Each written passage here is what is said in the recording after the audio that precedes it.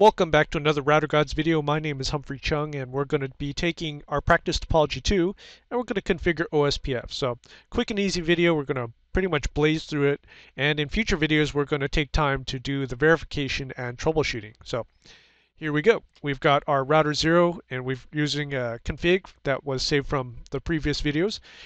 It's up and running so I'm going to go conf t I'm going to start off with router OSPF1, which is the process ID. That number can be 1 through 65,535, I believe. I'm going to do a network statement for a FAST00 interface. So it's going to be network 10.0.0.0.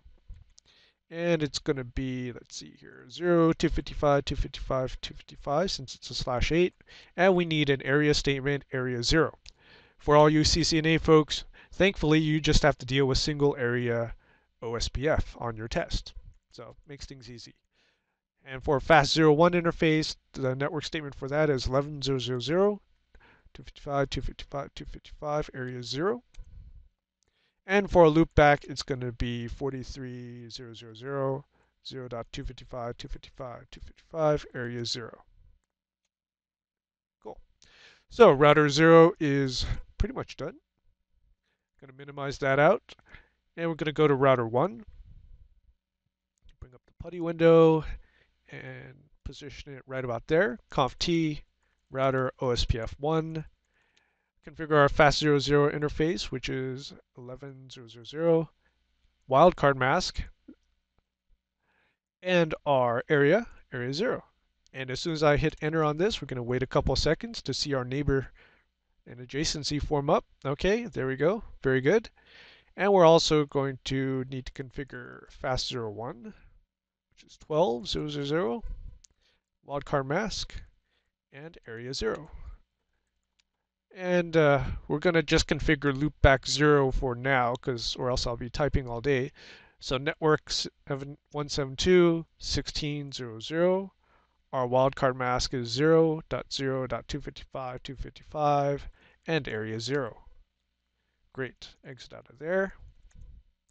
Minimize router 1 and go to router 2.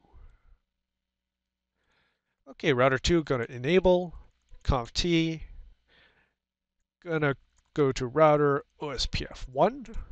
Remember, the process IDs don't have to match across the different routers, so that's pretty good. And then we're going to do a network statement for our FAST00, which is 10.0.0.0, 0.255.255.255 for the wildcard mask, area 0. Wait a couple seconds. That adjacency should form up in a couple seconds as it talks to router 0. There we go.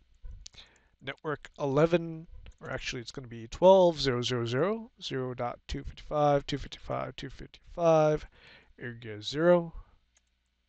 Twiddle our thumbs as it forms adjacency with router 1.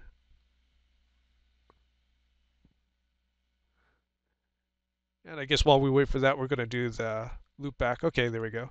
Loop back 55000, 0, 0.255, 255, 255, area 0. Exit a couple times, and we are done. So future videos, it's going to be verification and troubleshooting. Thanks for watching.